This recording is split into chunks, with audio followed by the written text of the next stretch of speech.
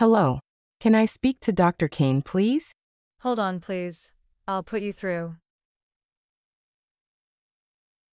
I'm afraid she's not here. When will she get back?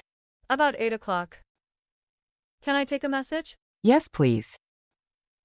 Can you tell her I can't come for the checkup on Friday? Thanks. Bye. Sure. Have a nice day. Hello. Can I talk to Mrs. Rogers, please? Speaking.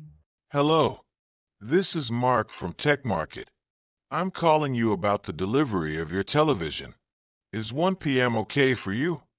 Oh, yes, I'll be at home at that time. Thanks for calling. That's great. See you later then. Goodbye. Bye. Can I speak to Frank, please? Yes, who's calling? It's Larry. Hi, Larry. I'm Frank's dad. Hold on a moment. I'll get him for you.